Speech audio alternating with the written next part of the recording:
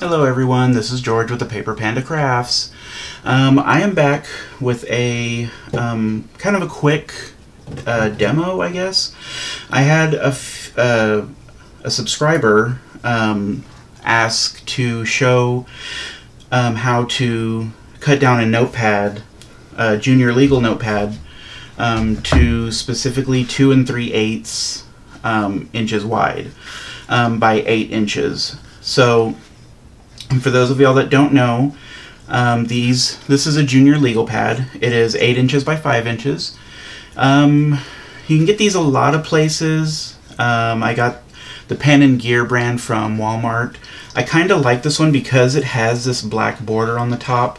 I can do a um, a wraparound with a decorative piece of paper to make it match the notepad.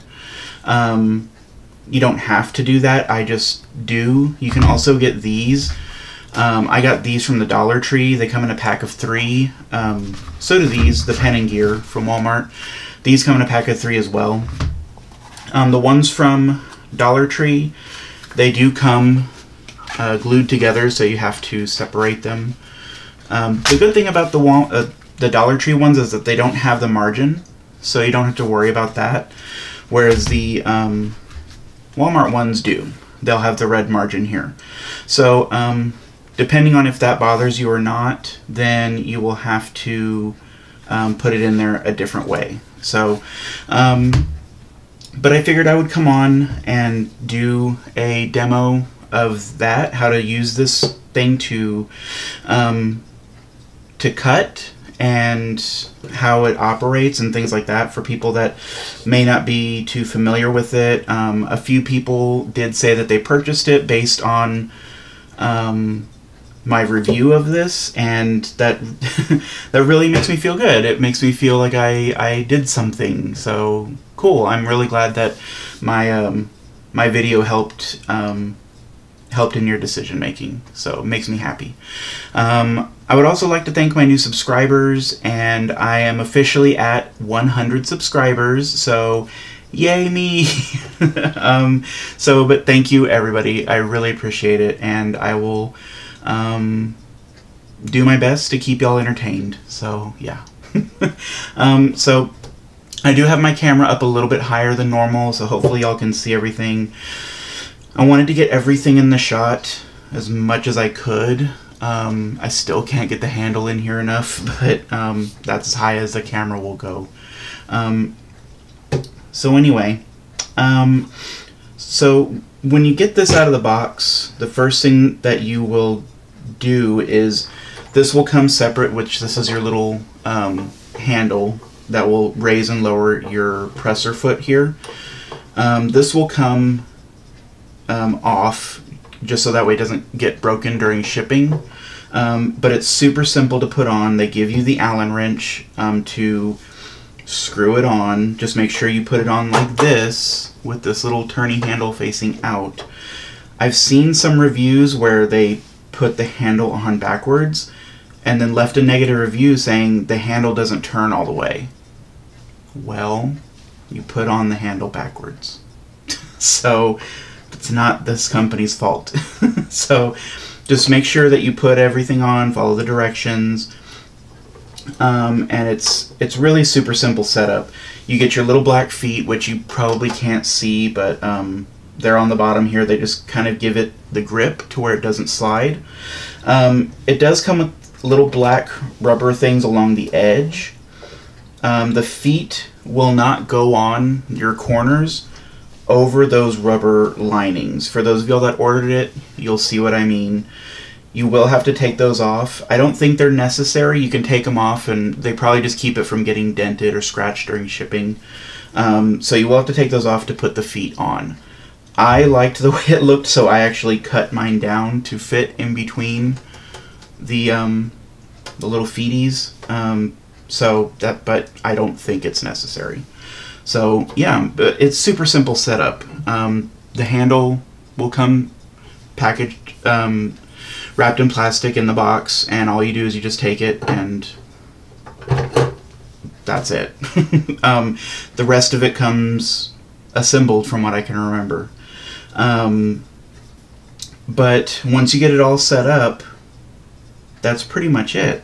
So the way you're going to use it is you're going to unscrew this, not completely, you're just going to loosen it just to where you can slide it. It does take a little bit of finagling to slide this thing, but it's nothing it's nothing too difficult. Um, so the one thing I will say, you cannot do very small cuts with this. The smallest cut you can do with using this guard is down to about two and one eighth of an inch. That's the smallest you're going to get using the guard. Now you can do smaller cuts if you want to freehand it um, and lower your presser foot to hold it in place. You can do that. You run the risk of it not coming out completely straight um, because you don't have something to square it up with. But if you're confident in your cutting skills, um, go for it. um, and the longest you will get using this is, it looks like 11 and 3 quarters. Um, that is the longest you will get using the guard. Um, this does come off. I'm not going to take it off because I accidentally did. Oops, I shook the camera, sorry.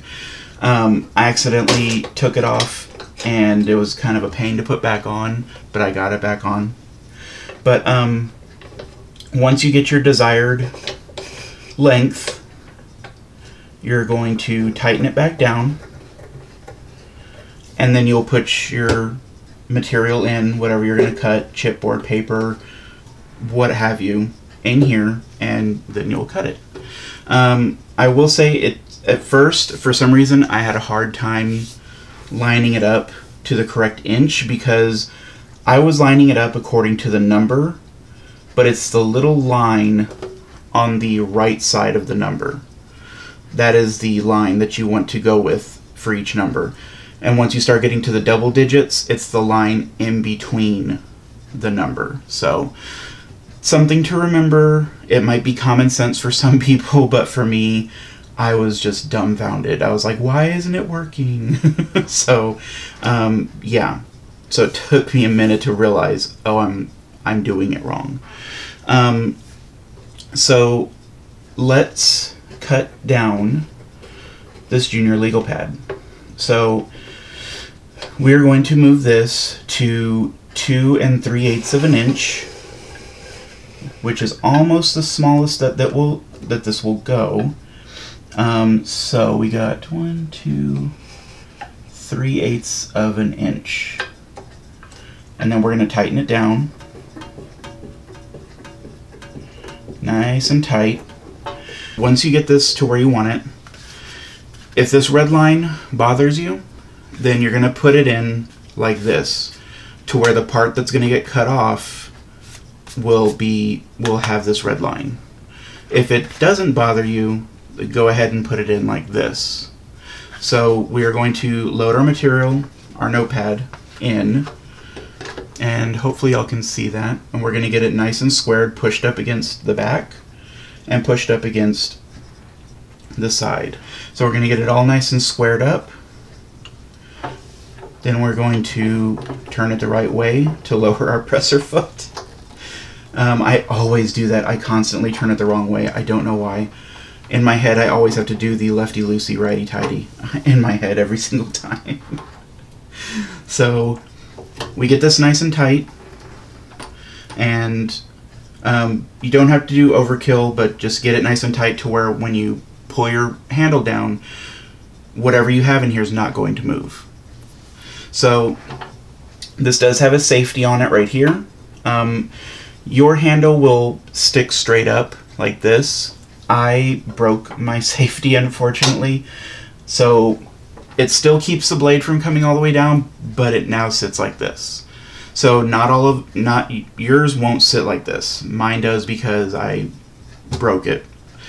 Long story. Anyway, um, so once you get your material set, you're going to push your safety down, you're going to hold it down, and you're going to pull your handle down, and that's it.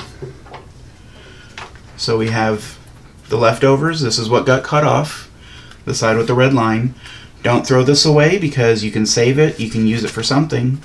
You can make another little notepad out of it. You can use it to write down dimensions. I save the even the smallest little part I will save to write down dimensions for a project, um, make notes on while I'm tinkering around with something that I have an idea of in my head.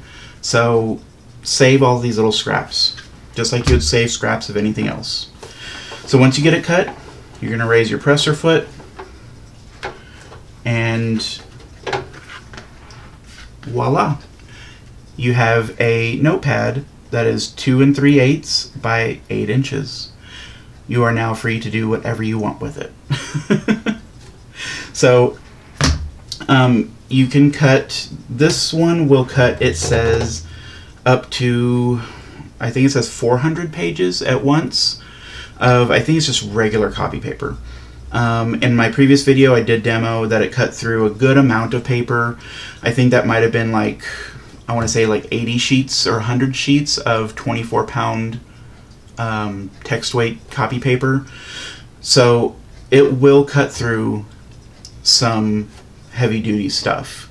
Um, I, like I said, I use this to cut all my chipboard, even just a single piece at a time. I will use this. Um, I use it to cut down all my notepads. Um, I use it for every. Probably the only thing I don't use is just to cut a single piece of paper. You can, but this is a little bit of overkill. um, so we're going to go ahead and cut this one down as well.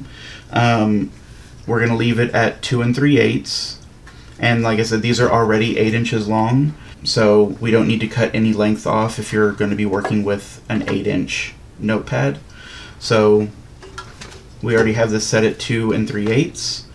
Um, we're going to load our notepad in from this side. In fact, you know what? I'm going to go ahead and do both just to show y'all. If you want to make up a bunch of notepads, then you can cut like three or four at a time. And so I have two in there. And since, you know what, this one's a little bit wider than 2 and 3 eighths, I'm going to go ahead and put this one in there too. I'm going to see if this one will um, get cut the rest of the way. Because for as big as this machine is, or this contraption, it can still do some pretty accurate cuts.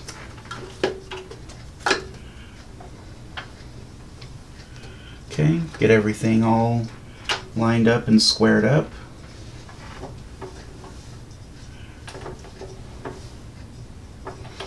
And lower my presser foot.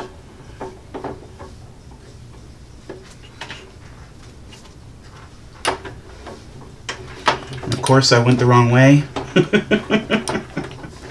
oh my god. There we go. I was wondering why it wasn't getting tighter. Duh.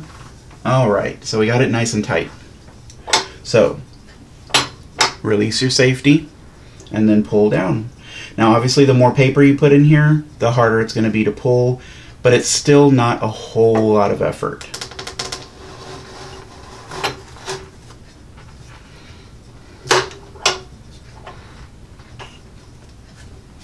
And there we go.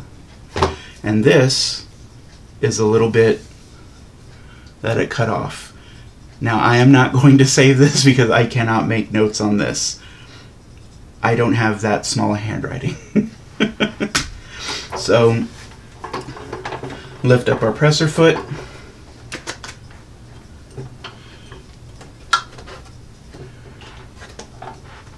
And there we go. We have our small little skinny notepads. And same thing, I'm going to put these in there and cut them down too. Because why not? All right, I got it right this time.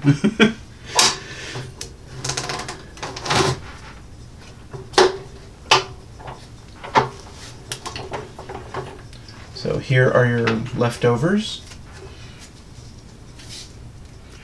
See what I mean? I mean, it's a huge machine, but you can still do precision things with it.